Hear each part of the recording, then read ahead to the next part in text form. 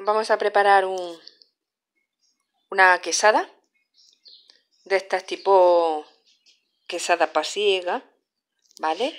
Que lleva dos yogures naturales. Aunque la variante que le pongo es uno de limón que tengo que me va a caducar. Así que lo aprovechamos. Dos huevos. Un paquete de nata para montar y un sobre de levadura química o polvo de hornear de estos de postre que lleva 15, 15 gramos.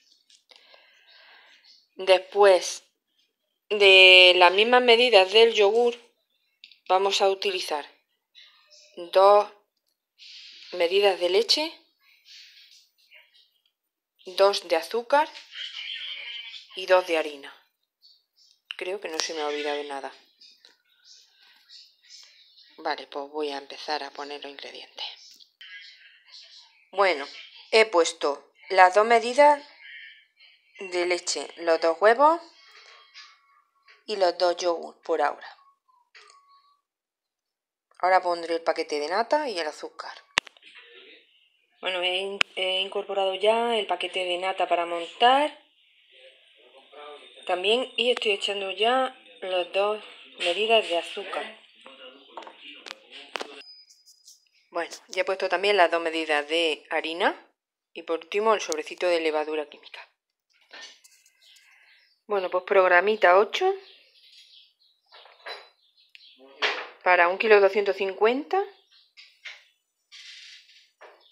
y tueste medio. Vale, vamos allá. Inicio.